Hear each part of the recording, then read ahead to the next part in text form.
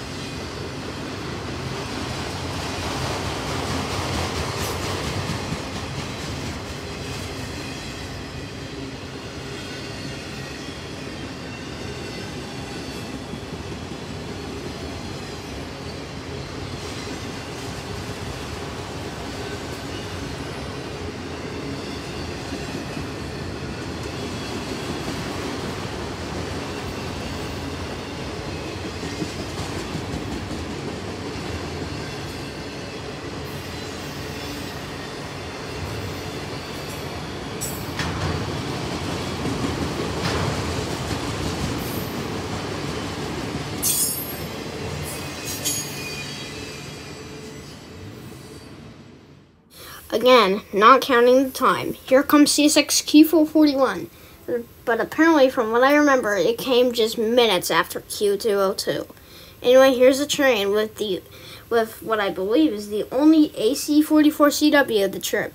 I would then be proven wrong as IO25 would have an AC44CW in Y2 paint trailing.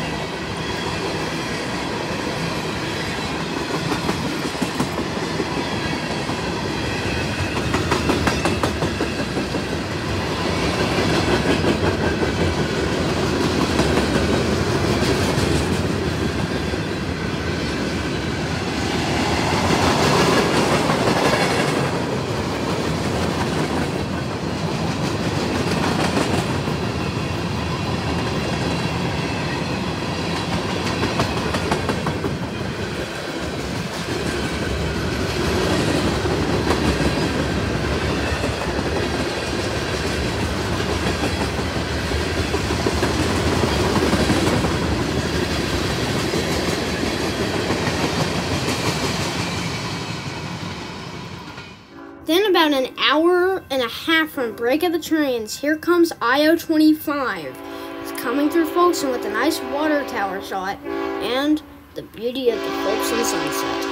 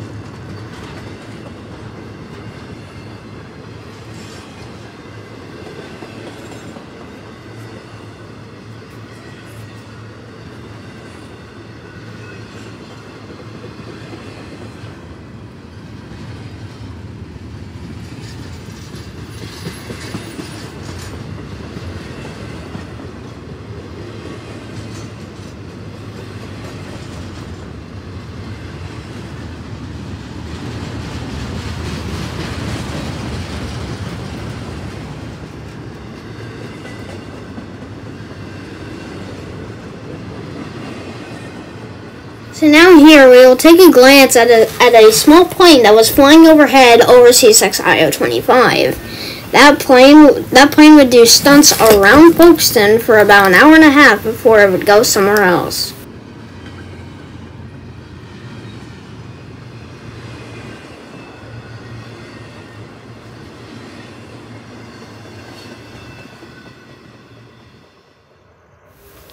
Now here's another plane flying high overhead. And here's another train, CSX Q203. And after this would be Amtrak 52. And what I did not know about was coming right after.